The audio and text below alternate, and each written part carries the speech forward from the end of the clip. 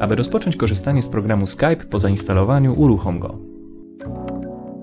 Jeżeli nie posiadasz konta, przy pierwszym uruchomieniu program poprosi Cię o jego utworzenie. Proces rejestracji jest bardzo prosty.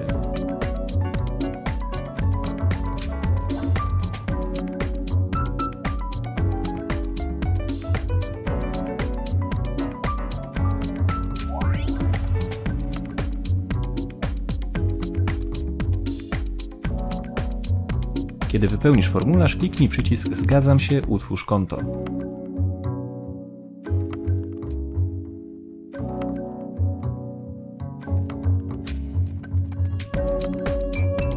Po utworzeniu profilu program poprosi Cię o podanie dodatkowych danych na Twój temat.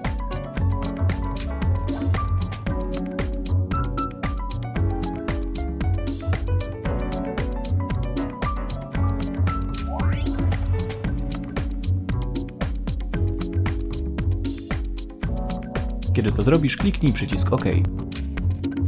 Po zakończeniu rejestracji program poprosi Cię o krótką konfigurację ustawień. Ja zrobiłem to już wcześniej, dlatego przejdę od razu do korzystania z programu.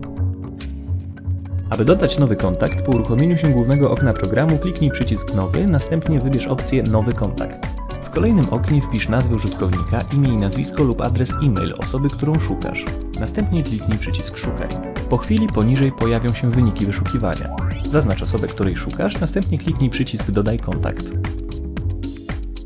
W kolejnym oknie wpisz wiadomość powitalną. Ujrzyj ją osoba, którą chcesz dodać do znajomych. Teraz musisz poczekać, aż Twój znajomy zaakceptuje zaproszenie. Kiedy to zrobi, będziesz mógł zobaczyć jego status.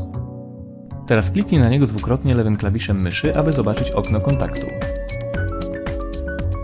W oknie kontaktu możesz rozpocząć czat ze znajomym, zadzwonić do niego bądź rozpocząć wideo rozmowę.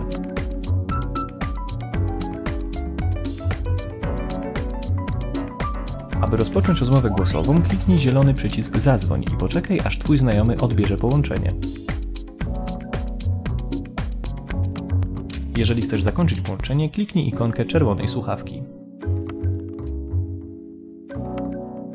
W podobny sposób możesz rozpocząć rozmowę wideo.